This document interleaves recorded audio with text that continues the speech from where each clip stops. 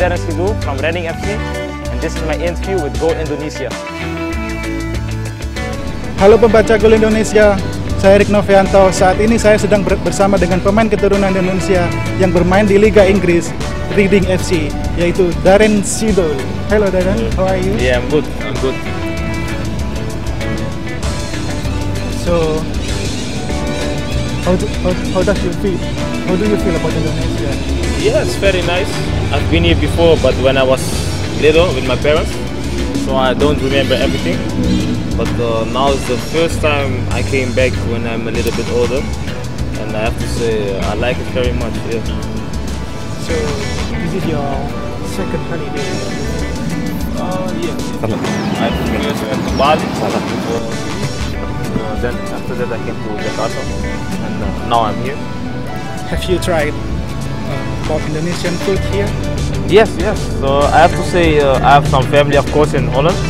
So when I go to the family parties, to the family visits, uh, we eat a lot of Indonesian food. So I kind of know something, but if you eat it here, of course, a little bit different because here you taste the real flavor of Yeah, the yeah, food. yeah. So I have to say it's very good. Yeah, yeah. So, what's your most favorite one? Uh, my most favorite. Yeah, there are more things. Nasi goreng I like, uh, satay I like, but also the small things like the risoles I like a lot. So. Okay, Darren, so for the rest of the lesson, maybe later we walking around the stadium. Yeah, no problem. Then I can see, of course, the beautiful stadium, so it's good. So could you tell us about your Indonesian background? Oh, okay, yeah. My Indonesian background is not that difficult. My it's from my father's side. My grandfather, his both parents are from Indonesia. I think he's born in Suriname, but he's full blood Indonesian, so yeah, it's not so far away. So yeah. Could you tell us about your youth life? Yeah, yeah. I've spent my whole youth in uh, in Netherlands.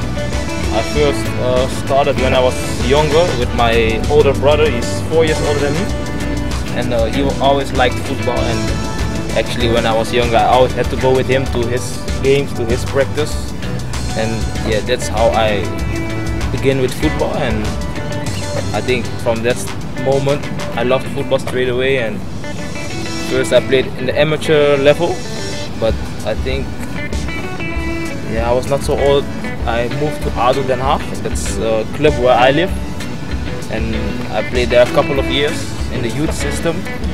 And then Ajax bought me from ADO Den Haag. I went to Ajax, and yeah, I have to say the youth academy of Ajax is from a very high level, and I developed there as a player, as a person. Because for me, it was a big step because it was not in my city anymore, so I have to travel a lot. I'm far away from home.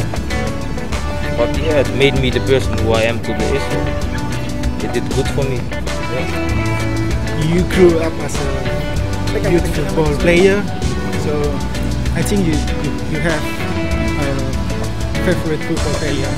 Do you have any? Oh yes, I have some favorite football players. Uh, of course, it's a little bit different. Most of the people will say Messi or Cristiano Ronaldo, because like in my opinion, those are the best footballers in the world at the moment, and not at the moment, but in the past years as well. But for me, I play in a different position, so I always look up to the players on my position, and yeah, at the moment that are like Sergio Ramos, Thiago Silva, Fernandinho from Manchester City. Those players are, I look up to. Yes. Yeah. Uh, we knew about your position in defender. You can play in many positions. What, Oh, what yes. is your preferred position? Uh, at the moment, my preferred position is uh, on the midfield. Uh, when I was younger, I started as a midfielder. I played like yeah most of the time as a midfielder. Then I moved to Ajax. Then I became a defender, a central defender in the middle. And like from this year, I am a midfielder again. And I have to say I like it because I'm a football player who likes to play with the ball, to take risk, and as a midfielder you can do that good. I think you can attack, but you can also defend.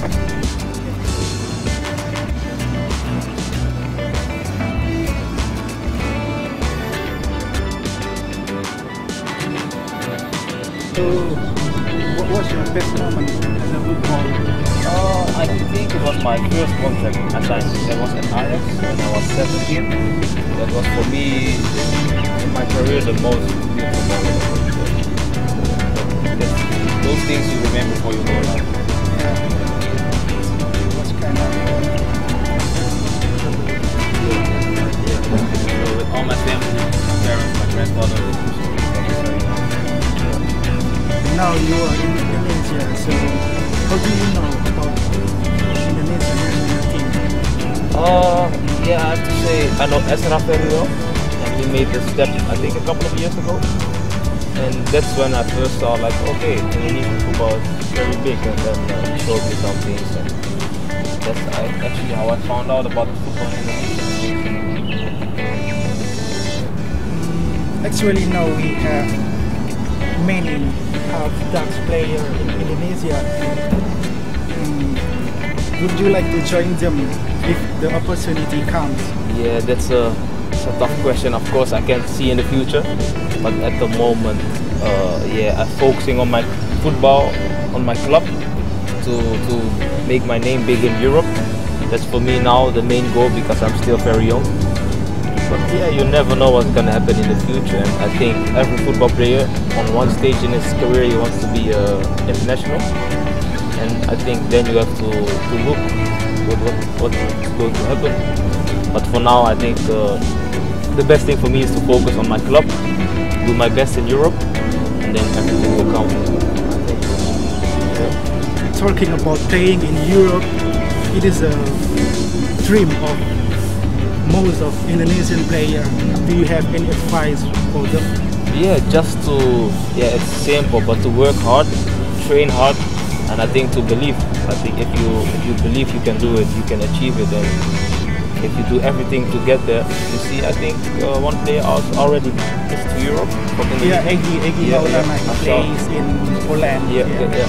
You see, it's possible, and if you work hard, you train hard, you give everything you have on the pitch, possible. And, yeah, just believe. it. Is there any difficulties playing in Europe? Maybe in the weather or Yeah, it's it's like Culture, different. It's yeah. different from here, but the weather, I don't think that's the biggest problem. What you say, it's more the culture. I think some countries are a little bit different, and of course the mentality in Europe is different from Indonesia. I I'm here now for two two weeks, and you see the mentality is different from Europe. Yeah. So I think maybe that's the biggest the biggest thing. So the mentality is the key, right? Yeah, yeah, yeah. So last question. What, what are your goals for in the future? For in the future, yeah, what I said to be a good player in Europe, and I wouldn't say to be the biggest player in Europe, but I have dreams and I want to be play. If I want to play in, in good clubs in Europe, and those are my goals for, for the upcoming years. To to develop myself and to be a good player in Europe. Yep. So that was the last question. Maybe you want to greet your fans in Indonesia? Yeah, of course. Uh, to all the fans in Indonesia, uh, thank you very much for supporting me in Europe. I, I see everything, I feel everything, and uh, yeah, it's very nice to see all the, the messages and all the things from Indonesia, all the support. Terima kasih. Demikian wawancara kami dengan Darren Sidol. Nantikan selengkapnya di hanya di Gol Indonesia.